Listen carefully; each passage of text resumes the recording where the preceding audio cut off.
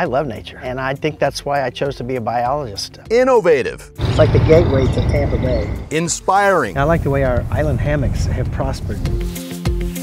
Passionate. And we care about the environment.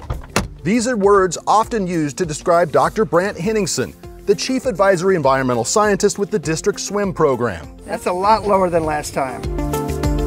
Henningsen is one of the original members of the program, which stands for Surface Water Improvement and Management. And after 31 years with the program that is responsible for 99 projects restoring 4,647 acres in Tampa Bay, Henningsen is retiring. My tenure here at SWIM has just been an adventure from day one.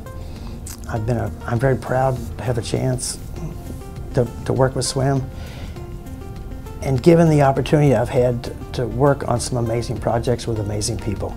His retirement comes a month after receiving the prestigious Dr. Nancy Foster Award for Habitat Conservation given by the National Oceanic and Atmospheric Administration. Henningsen is part of an elite group of just 22 winners. He's done so much to bring awareness to the need for ecosystem restoration as well as developing new methodology for improving restoration techniques now and even into the future.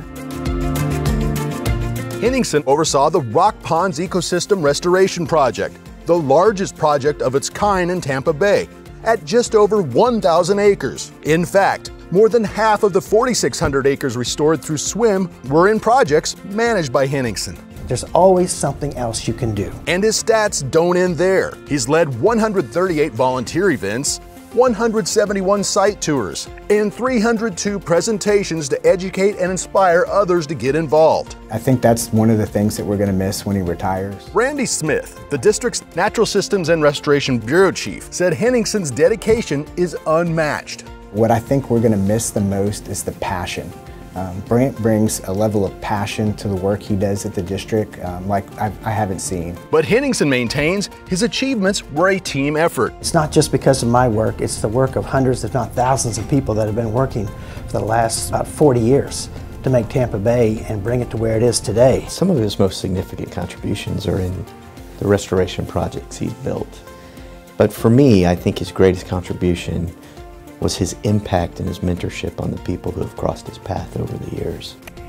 And for Henningsen, bringing meaning to his work has been his goal. A lot of public sector jobs, uh, most people don't do it for the money, they do it for other reasons. This can be very fulfilling when you step back and can look at your life work and go, hey, maybe I made a difference.